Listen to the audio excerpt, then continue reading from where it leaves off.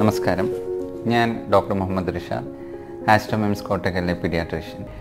ഈ ഘട്ടത്തിൽ പൊതുവെ അമ്മമാരിൽ ഉണ്ടാകുന്ന ചില സംശയങ്ങൾക്ക് മറുപടി പറയുവാനാണ് ഞാൻ ശ്രമിക്കുന്നത്. പലപ്പോഴും അമ്മമാർക്ക് പ്രത്യേകിച്ച് ആദ്യമായി പ്രസവിക്കുന്ന ഒരമ്മയ്ക്കുണ്ടാകുന്ന സംശയമാണ് എന്റെ കുഞ്ഞിന് ആവശ്യമായ പാൽ എനിക്കുണ്ടാകുമോ എന്നത്? ഇവിടെ നാം മനസ്സിലാക്കേണ്ടത് മുലപ്പാലിന്റെ ഉൽപ്പാദനത്തിൽ പല ഘടകങ്ങളുണ്ട്. അതിലേറ്റവും പ്രധാനമായ ഒരു ഘടകമാണ് മാനസികമായ ഘടകം.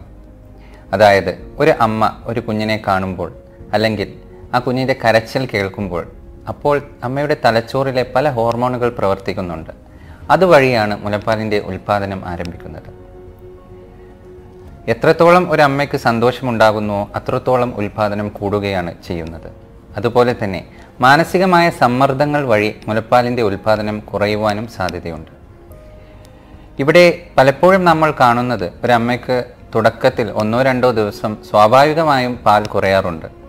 അപ്പോഴേക്കും മാനസികമായ സമ്മർദ്ദങ്ങൾ അമ്മയ്ക്ക് വരികയാണ്. എന്റെ പാലിന് കുഞ്ഞിന് പാ കൊടുക്കാനുള്ള പാൽ എനിക്കില്ലല്ലോ. ഞാൻ ഇനി എന്ത് ചെയ്യും? അതുവഴി എന്താണ് സംഭവിക്കുന്നത് വെച്ചാൽ വീണ്ടും ആ മാനസികമായ സമ്മർദ്ദം കാരണം മുലപ്പാലിന്റെ ഉൽപ്പാദനം കുറയുകയാണ്. ഇവിടെയാണ് അമ്മയുടെ കൂടെയുള്ള അമ്മയുടെ അമ്മ അതായത് കുഞ്ഞിന്റെ അമ്മൂമ്മയോ അതുപോലെയുള്ള കുടുംബാംഗങ്ങളുടെ പ്രാധാന്യം വർദ്ധിക്കുന്നത്. അവർ മാനസികമായ ഒരു സപ്പോർട്ട് ഈ അമ്മയ്ക്ക് കൊടുക്കുകയാണെങ്കിൽ തീർച്ചയായും അമ്മയുടെ മുലപ്പാലിന്റെ ഉൽപ്പാദനം വർദ്ധിപ്പിക്കും. അല്ലാതെ നമ്മൾ ഒന്നോ രണ്ടോ ദിവസം പാൽ കുറഞ്ഞത് വഴി അമ്മയ്ക്ക് അതിനുള്ള മരുന്നുകളോ അല്ലെങ്കിൽ കുഞ്ഞിന് ഫോർമുല മിൽക്കോ കൊടുക്കേണ്ട ഒരു ആവശ്യം അധിക സമയത്തും കാണാറില്ല. ഇതുപോലെ തന്നെ ഒരു കുഞ്ഞിനൊരു രണ്ട് മാസം അല്ലെങ്കിൽ മൂന്ന് മാസമായി കഴിഞ്ഞാൽ വീണ്ടും അമ്മയ്ക്ക് സംശയം തുടങ്ങുകയാണ്. എന്റെ കുഞ്ഞ് ആവശ്യത്തിന് തൂക്കം കൂടുന്നുണ്ടോ? അതോ എനിക്ക് പാലില്ലാത്തത് കൊണ്ടാണോ കുഞ്ഞ് തൂക്കം കൂടാത്തത് എന്നതൊക്കെ? ഇവിടെ നാം മനസ്സിലാക്കേണ്ടത് രണ്ട് മാസം മൂന്ന് മാസം ആകുമ്പോഴേക്കും കുഞ്ഞിന്റെ വയറ് വികസനം ആരംഭിക്കുകയാണ്. അതിനനുസരിച്ച് തുടക്കത്തിൽ ചിലപ്പോൾ അമ്മയ്ക്ക് പാൽ വരില്ല എന്ന് വരാം. എന്നാൽ കുഞ്ഞിന്റെ ഡിമാൻഡ് അനുസരിച്ച് അമ്മയുടെ മുലപ്പാലിന്റെ ഉൽപ്പാദനം വർദ്ധിപ്പിക്കും. എങ്ങനെയാണ് ഒരു അമ്മയ്ക്ക് മനസ്സിലാവുക തന്റെ കുഞ്ഞിന് ആവശ്യത്തിനനുസരിച്ച് പാൽ കിട്ടുന്നുണ്ട് എന്ന്? കുഞ്ഞ് പാൽ കുടിച്ച ഉടനെ ഉറങ്ങുകയാണ്. ദിവസം അഞ്ചോ ആറോ തവണ മൂത്രമൊഴിക്കുന്നുണ്ട്. ഒന്നോ രണ്ടോ തവണ മലം പോകുന്നുണ്ട്. ആവശ്യത്തിനനുസരിച്ച് ഉറങ്ങുന്നുണ്ട്. ഇതെല്ലാം ഉണ്ടെങ്കിൽ ഒരു കുഞ്ഞ് ആവശ്യത്തിന് പാൽ കിട്ടുന്നുണ്ട് എന്നാണ് അർത്ഥം. ഇനി പലപ്പോഴും ചില അവസരങ്ങളിൽ അമ്മയ്ക്ക് പാൽ ഉണ്ടെങ്കിൽ കൂടി കുഞ്ഞിന് അത് ലഭിക്കുകയില്ല. ചില അമ്മമാർക്ക് മുലക്കണ്ണിയിൽ ചെറിയ വിള്ളലോ അല്ലെങ്കിൽ മുലക്കണ്ണി ഉള്ളിലോട്ട് പുറകോട്ട് പോയിരിക്കുകയോ ചെയ്യാം. റിട്രാക്റ്റഡ് നിപ്പിൾ അഥവാ ഇൻവേർട്ടഡ് നിപ്പിൾ എന്നാണ് അതിന് പറയുക. ഇങ്ങനെയുള്ള സാഹചര്യങ്ങളിൽ അമ്മ ഹോസ്പിറ്റലിലോ നഴ്സുമാരുടെയോ സഹായം തേടേണ്ടതാണ്. കാരണം ആ മുലക്കണ്ണി ഒരു നിപ്പിൾ സിറിഞ്ച് ഉപയോഗിച്ച് വലിച്ചെടുത്താൽ കുഞ്ഞിന് പാൽ കിട്ടും. എത്ര തവണയാണ് ഞാൻ എന്റെ കുഞ്ഞിന് പാൽ കൊടുക്കേണ്ടത്? സാധാരണഗതിയിൽ ആദ്യത്തെ ഒരു മാസത്തിൽ രണ്ട് മണിക്കൂർ ഇടവിട്ടാണ് കൊടുക്കേണ്ടത്. എന്നാൽ ഒരു മാസം കഴിഞ്ഞാൽ കുഞ്ഞ് ആവശ്യത്തിനനുസരിച്ച് കരയും. പാൽ കുടിച്ചു കഴിഞ്ഞാൽ സുഖമായി ഉറങ്ങും എന്നാൽ വിശന്നു കഴിഞ്ഞാൽ കരയും. അപ്പോൾ കുഞ്ഞ് കരയുന്നതിനനുസരിച്ചാണ് ഒരു മാസം കഴിഞ്ഞാൽ പാൽ കൊടുക്കേണ്ടത് അഥവാ ഫീഡിംഗ് ഓൺ ഡിമാൻഡ് മുലയൂട്ടൽ അതിന്റെ ശരിയായ രീതിയിലല്ല കൊടുക്കുന്നതെങ്കിൽ സ്വാഭാവികമായും അമ്മമാർക്ക് ചില ബുദ്ധിമുട്ടുകൾ വരാം. ചില അമ്മമാർ പറയാറുണ്ട് മുലക്കണ്ണിയിൽ ചെറിയ വിള്ളലുണ്ട് അത് കാരണം പാൽ കൊടുക്കുമ്പോൾ ഭയങ്കര വേദനയാണ് എന്ന്. ചില കുഞ്ഞുങ്ങൾ പാൽ കുടിക്കുമ്പോൾ മുലക്കണ്ണിയിൽ അമിതമായി കടിക്കുന്നത് കൊണ്ടാണ് മുലക്കണ്ണിയിലെ വിള്ളലുകൾ വരുന്നത്. ഇത് കാരണം കുഞ്ഞിന്റെ നാവിന്മേൽ ചില തരത്തിലുള്ള ഫംഗസ് അഥവാ പൂപ്പൽ വരുവാൻ സാധ്യതയുണ്ട്.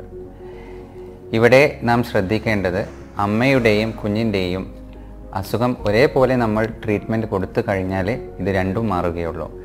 അമ്മയുടെ മുലക്കണ്ണിയിലുള്ള മുറിവിന് ഓയിൻമെന്റുകളും മറ്റും അപ്ലൈ ചെയ്യുക. അതുപോലെ തന്നെ കുഞ്ഞിന്റെ നാവിൽ എന്തെങ്കിലും തരത്തിലുള്ള പൂപ്പൽ അഥവാ വെള്ളക്ക വെള്ള നിറത്തിലുള്ള പാട കണ്ടു കഴിഞ്ഞാൽ അതിന് ഒരു മൗത്ത് പെയിന്റ് അപ്ലൈ ചെയ്യേണ്ടതാണ്. അമ്മ പാൽ കൊടുത്തു കഴിഞ്ഞ് അവസാനമുള്ള പാലിന്റെ ഒന്നോ രണ്ടോ തുള്ളികൾ മുലക്കണ്ണിയിൽ ഉറ്റിക്കുന്നതും നല്ലതാണ്. ഒട്ടേറെ അമ്മമാർ പറയുന്ന ഒരു പ്രശ്നമാണ് പാൽ കൊടുത്തു കഴിഞ്ഞ ഉടനെ തന്നെ കുട്ടി ഛർദ്ദിക്കുകയാണ്. പെട്ടെന്ന് ശ്വാസം പോകുന്നു എന്നത്. ചില കുട്ടികൾ പാൽ നന്നായി വലിച്ചു കുടിക്കും. അപ്പോൾ വയർ നിറഞ്ഞു കഴിഞ്ഞാൽ അവർ സ്വാഭാവികമായും കുറച്ച് പുറത്തോട്ട് തള്ളും. അതിനെ ഗ്യാസ്ട്രോ ഈസോഫേജിയൽ റിഫ്ലെക്സ് അഥവാ നമ്മൾ വലിയവർക്കുണ്ടാകുന്ന തരിപ്പി വരുന്ന ഒരു പ്രശ്നമായിട്ടാണ് അതിനെ കണക്കാക്കുന്നത്. ഇത് ഒരു അസുഖമല്ല മറിച്ച് അമിതമായി പാൽ കുടിക്കുന്നത് വഴിയുള്ള റീഗർജിറ്റേഷൻ കാരണമാണ് ഇത് സംഭവിക്കുന്നത്. ഒട്ടുമിക്ക കുട്ടികളിലും പുറത്ത് നന്നായി തട്ടിക്കൊടുത്തു കഴിഞ്ഞാൽ ഈ പ്രശ്നം പരിഹരിക്കപ്പെടും. എന്നാൽ ചില കുട്ടികളിൽ പാൽ കൊടുത്തു കഴിഞ്ഞ് കിടത്തി കഴിഞ്ഞാലാണ് ഈ പ്രശ്നം കാണുന്നത്. അപ്പോൾ ഇതിന് പരിഹാരമായി നമ്മൾ കിടത്തുന്ന സമയത്ത് വലതുവശത്തോട്ട് ഒന്ന് ചെരിച്ച് തലഭാഗം ഒന്ന് ഉയർത്തിക്കെടുത്തി കഴിഞ്ഞാൽ ഇൻ കേസ് കുട്ടി കുറച്ച് തരിപ്പി ഛർദ്ദിക്കുകയാണെങ്കിൽ പോലും വലിയ പ്രയാസമുണ്ടാവുകയില്ല. ഒന്നുകൂടി പറയുകയാണ്. ഗ്യാസ്ട്രോ ഇസോഫേജൽ റിഫ്ലക്സ് അഥവാ ഈ അമിതമായ പാൽ കുടിക്കുന്നത് കാരണമുള്ള ഛർദി അതൊരു അസുഖമല്ല. മറിച്ച് അതൊരു സ്വാഭാവിക പ്രക്രിയ മാത്രമാണ്. കുട്ടി നേരത്തെ പറഞ്ഞതുപോലെ തൂക്കം കൂടുന്നുണ്ട് മൂത്രമൊഴിക്കുന്നുണ്ട് മലം പോകുന്നുണ്ട് നന്നായി ഉറങ്ങുന്നുണ്ട്. ഈ കാര്യങ്ങളെല്ലാം കുട്ടി ചെയ്യുന്നുണ്ടെങ്കിൽ അതിനെക്കുറിച്ച് ഭയപ്പെടേണ്ടതില്ല. എത്ര കാലം വരെയാണ് ഞാൻ മുലപ്പാൽ കൊടുക്കേണ്ടത്? ശരിയായ രീതിയിൽ പറയുകയാണെങ്കിൽ ആറ് മാസം വരെ കുഞ്ഞിന്റെ തലച്ചോറിനും മാനസികമായും ശാരീരികമായുമുള്ള വളർച്ചയ്ക്ക് മുലപ്പാൽ ധാരാളമാണ്. എന്നാൽ ചില അമ്മമാർക്ക് നേരത്തെ പറഞ്ഞതുപോലെ പാൽ കുറഞ്ഞ കാരണത്താൽ ഇതിനു മുന്നേ തന്നെ മറ്റു ഭക്ഷണ പദാർത്ഥങ്ങളും അല്ലെങ്കിൽ പശുവിൻ പാലോ ആട്ടിൻ പാലോ കൊടുത്ത് കാണാറുണ്ട്. നമ്മുടെ കുട്ടിക്ക് ആവശ്യമായ എല്ലാ ഘടകങ്ങളും അതിൽ ഉണ്ടായിക്കൊള്ളണം എന്നില്ല. അതുമാത്രമല്ല പലപ്പോഴും ആട്ടിൻ പാലായാലും പശുവിൻ പാലായാലും ഒന്നുകിൽ അതിൽ വെള്ളം കൂടുതൽ ചേർത്താണ് കൊടുക്കുക. വെള്ളം കൂടുതൽ ചേർക്കുന്നത് വഴി അതിന്റെ ആവശ്യമായ പദാർത്ഥങ്ങൾ ഡൈല്യൂട്ടഡ് ആയി പോവുകയാണ്.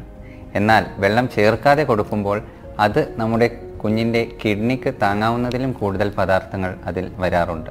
ഇതൊക്കെയാണെങ്കിൽ കൂടി പലപ്പോഴും അമ്മയ്ക്ക് പാൽ തികയാത്തത് കാരണം മറ്റു സ്രോതസ്സിലേക്ക് നമ്മൾ പോകേണ്ടതായിട്ട് വരും. ആദ്യമായി എല്ലാവരും യൂസ് ചെയ്യുന്നത് ഒരു ഫോർമുല മിൽക്ക് അഥവാ ഫോർമുല പൗഡർ ഉപയോഗിച്ചുള്ള പാലാണ്. ഇതും പലപ്പോഴും അതിന്റെ അളവുകോൽ ശരിയാകാത്തത് മൂലം കുഞ്ഞിന് ബുദ്ധിമുട്ടുണ്ടാക്കിയേക്കാം. എപ്പോഴും നമ്മൾ ഫോർമുല ഉപയോഗിക്കുമ്പോൾ മുപ്പത് മില്ലി തിളപ്പിച്ചാറിയ വെള്ളത്തിൽ ഒരു സ്കൂപ്പ് എന്നാണ് അതിന്റെ കണക്ക്. ഇതിൽ നമ്മൾ വെള്ളം കൂട്ടുകയോ അല്ലെങ്കിൽ പൗഡർ കുറക്കുകയോ വഴി കുഞ്ഞിന് നമ്മൾ ഉദ്ദേശിക്കുന്ന തരത്തിലുള്ള പോഷക ഘടകങ്ങൾ ലഭിക്കുന്നില്ല. കുഞ്ഞിന് അമ്മയുടെ പാൽ കിട്ടാത്ത അവസരങ്ങളിൽ ഫോർമുല മിൽ കൊടുക്കുകയാണെങ്കിൽ അതെങ്ങനെയാണ് കൊടുക്കേണ്ടത്? ബോട്ടിൽ ഫീഡിംഗ് അഥവാ കുപ്പിപ്പാൽ നമ്മൾ പാടെ ഉപേക്ഷിക്കേണ്ടതാണ്. കുഞ്ഞിന് പാൽ കൊടുക്കുകയാണെങ്കിൽ അത് ഒരു സ്പൂൺ വഴിയോ അല്ലെങ്കിൽ പാലട വഴിയോ ആണ് കൊടുക്കേണ്ടത്. ബോട്ടിൽ ഫീഡിംഗ് വഴി കുഞ്ഞിന് അമ്മയുടെ പാൽ കുടിക്കുവാൻ മടി കൂടുതലായി തോന്നും. മാത്രവുമല്ല ബോട്ടിൽ ഫീഡിംഗ് വഴി പലതരത്തിലുള്ള ഇൻഫെക്ഷനുകൾ വരുവാനുള്ള സാധ്യതയും കൂടുതലാണ്. ചില അമ്മമാർ ചോദിക്കാറുണ്ട് തുടക്കത്തിൽ ഉണ്ടാകുന്ന പാൽ അത് സാധാരണ വരുന്ന പാലിനേക്കാളും കുറച്ച് കട്ടി കൂടുതലായും കളർ വ്യത്യാസമുണ്ടായിട്ടും തോന്നാറുണ്ട്. അത് കുഞ്ഞിന് കൊടുക്കാൻ പറ്റുമോ എന്നത്?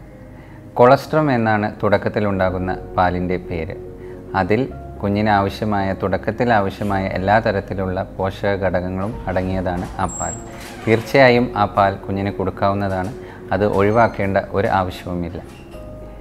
എന്തെല്ലാം ഭക്ഷണമാണ് മുലയൂട്ടുന്ന ഒരു അമ്മ കഴിക്കേണ്ടത്? എല്ലാ തരത്തിലുള്ള പോഷകാഹാരങ്ങളും അമ്മയ്ക്ക് കഴിക്കാവുന്നതാണ്. പ്രത്യേകിച്ച് ഒരു ഭക്ഷണം ഒഴിവാക്കുകയോ പാലുണ്ടാകുവാനായി പ്രത്യേകിച്ച് ഒരു ഭക്ഷണം കൂടുതലായി കഴിക്കേണ്ടതോ ആവശ്യമില്ല. സാധാരണഗതിയിൽ കഴിക്കുന്ന എല്ലാ ഭക്ഷണങ്ങളും നല്ല രീതിയിൽ സമയത്തിനനുസരിച്ച് കഴിക്കുക പാൽ തീർച്ചയായും ഉണ്ടാകും. പ്രസവാനന്തരം ഒരു അമ്മയ്ക്കുണ്ടാകുന്ന സംശയങ്ങളിൽ ചിലതാണ് ഞാനിവിടെ അവതരിപ്പിച്ചിട്ടുള്ളത്. ഇനിയും നിങ്ങൾക്ക് ഒട്ടേറെ സംശയങ്ങളുണ്ടാകാം. ഉണ്ടെങ്കിൽ തീർച്ചയായും കമന്റ് ചെയ്യുക. നന്ദി.